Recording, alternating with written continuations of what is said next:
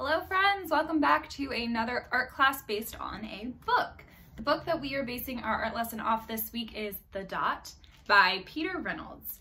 This is one of my favorite books. I love to read this in art class because I think it has such a great message, which is about just trying something and giving it your best shot. And if it's not perfect, that's okay. But you gotta push through and keep working and keep trying to make something really great. So in the story, Vashti doesn't think that she can draw very well. And her teacher is like, just try, just make a mark, any mark. So we are going to use that idea in our artwork today, making works of art based off of a mark that we make. Also, in Vashti's world, she creates so many works of art based on her mark that she has an art show. And in the art show, all of her dots are hung up for everyone to see. So we're not just making one work of art today. We're going to make a bunch of different versions of our artwork so that we can have our own mini art show in our house. So let's get started. All right, friends, we are going to start making our own artwork based off of the book The Dot. Remember in the book The Dot, Vashti at first thinks that she isn't good at art or that she doesn't know what to draw or can't come up with any ideas. But then her art teacher encourages her just to make a mark on the paper. So we are going to use that as our inspiration to make our own masterpieces based off of just a random mark that we will make on our paper. So I have a bunch of different sizes or two sizes of paper here. I've got these smaller ones. This is just one sheet cut into four sections. And then I have a couple larger pieces of paper. I'm going to use one of my smaller papers and a marker and I'm just going to make a mark. It can be any mark. If you want to do a dot like Vashti did, you can. If you want to do kind of a line, how the little boy at the end of the story made a squiggly line, you can do that. I am going to just make a mark. There's my mark. So using this, I am going to create a bunch of different versions of that shape, just like Vashti made a bunch of different versions of her dot. So when she has her art show, she used that dot to inspire all of these different types of artworks. So I'm going to do the same thing using my shape. So the first thing I'm going to do is start with another small piece of paper. And on this piece of paper, I am just going to try to make a different version of my shape using some of my art materials that I have at my house. So I'm going to start with oil pastel. And this shape, I think I can make it bigger kind of looks like a sock. And then inside I can add different designs or different shapes. So I'm gonna make some lines. Maybe I use this to make some circles.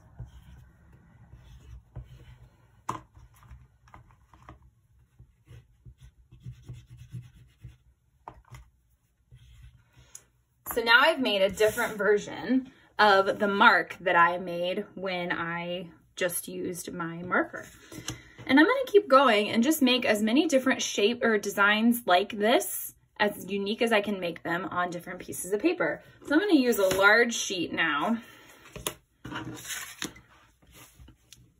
And this time I'm gonna use watercolors. If you don't have watercolors, you can also use markers. So I'll show you how you can do that first. This is something I've been showing people a lot lately is using markers. So I'm gonna make my shape. This I'm gonna make it bigger. Whoa, that is so big. And then to turn this into watercolor, I'm gonna use a brush with just some water on it. And if I go on top, it starts to turn my marker into watercolor. We did this in our egg lesson. If you guys did the Great Escape lesson with me, we used markers for as watercolor in that too. But a lot of you might have your actual like real watercolors at your house. So I'm gonna use those for the rest of this shape. So I'm gonna get my brush wet, make sure I wipe my extra water off on the lip of my cup or give it a little tap on my paper towel. And then I'm going to choose a color. Remember, we always go in the same direction on our color so we don't mess up the bristles and we don't mess up the paint. And then I'm just going to paint some shapes in this. Remember, sometimes we have to get our brush wet again when we're using watercolors because it'll get too dry and then our color gets all kinds of scratchy and it doesn't look very nice.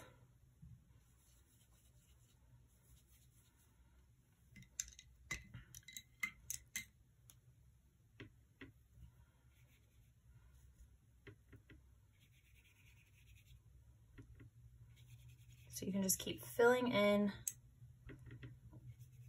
The goal is to make a bunch of different versions of the same shape. This gives us some inspiration. Sometimes I think I sit down to do art and if I'm thinking too hard about what I want to make, my ideas get stuck and then I can't really come up with anything.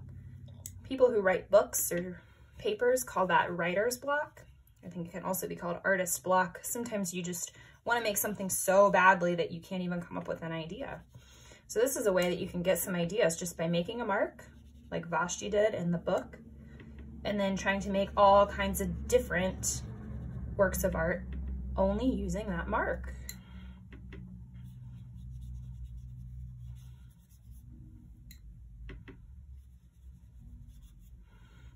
All right, so I've got two different versions now. I'm gonna set this one aside to dry and I'm gonna keep making more.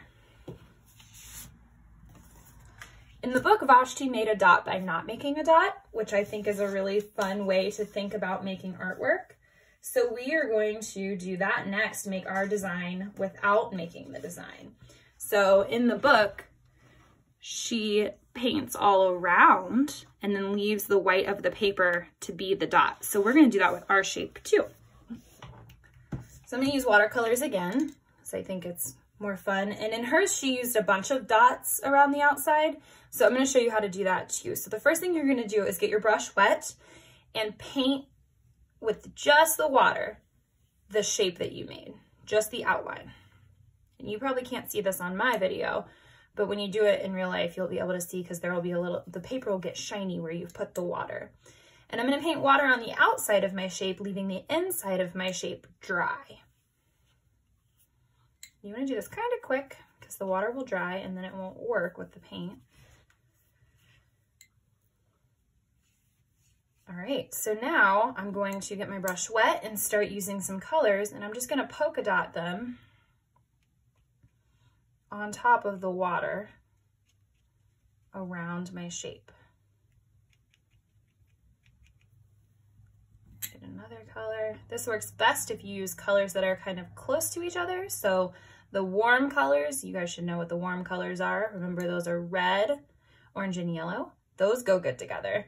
And the cool colors, which are purple, blue, and green, those go really good together when you do this too. Okay, you can see my shape is starting to show up. Get some blue. Ooh, the blue is so pretty on here.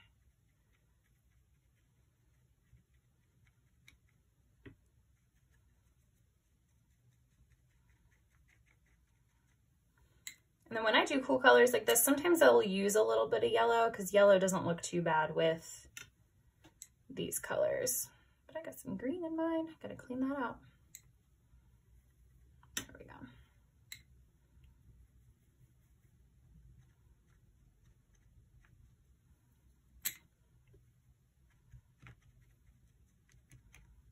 All right, and now I've made my shape by not making my shape. Set that off to dry. Let's do another. This time I'm going to use just markers. I've used a lot of cool colors. I'm gonna do it a little different. So when I did my watercolor on my big paper, I made it nice and big. This time I think I'm gonna make it kind of skinny. So I'm gonna make a really skinny version of my shape. And I'm gonna flip it this way, see if that gives me any more inspiration.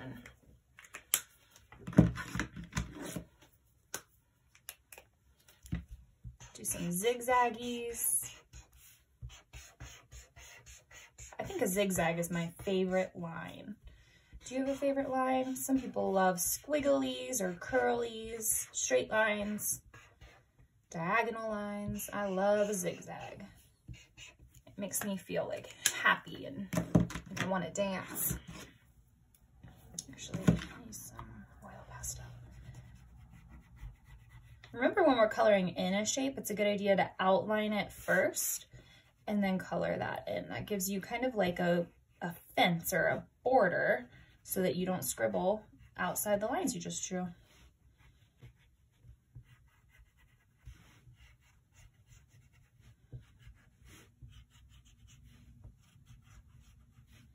So I think it would be cool if you guys challenged yourself to see how many different ways you can draw your mark that you made. Just like Vashti, she just drew a dot, but she made all kinds of different artworks because of that dot. And all of them were dots.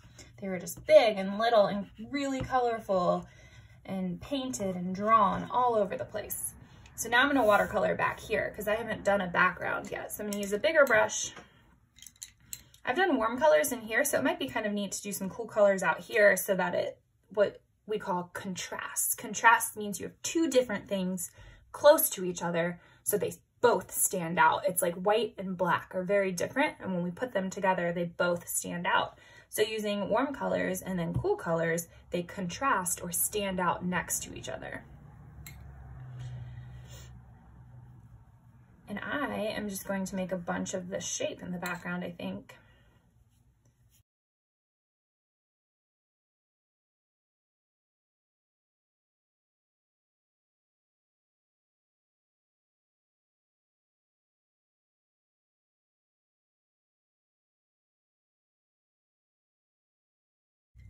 All right, so I've got four different versions of this mark that I've made. And I think I'll do one more small one. And then we'll all look at our finished ones together. So for the small one, I think I'm just going to fill this up with a bunch of little versions of my shape. And then using my paintbrush, I'm just going to trace over them with water. And this is going to do that watercolor thing that I think looks so cool, but it's just going to do it a little bit so they still stand out. I'm gonna try to do all the same color at once so they don't mix.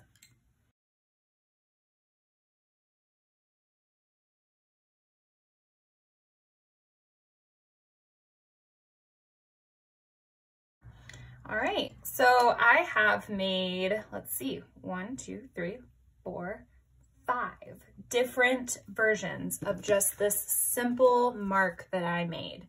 Now, I think it would be so fun if we all hung up our different versions of our marks to make a kind of art show, just like Vashti did in the book. So she hung all of her dots together so I think it would be so neat if you guys made a bunch of different versions of your mark and hung them up somewhere in your house and took a picture and sent it to me or Miss Haresh. Or you could just lay it somewhere on a table. That's probably what I'll do. And I'll put a picture up so you guys can see my mini art show made from my mark. And you guys can make a mini art show from your mark.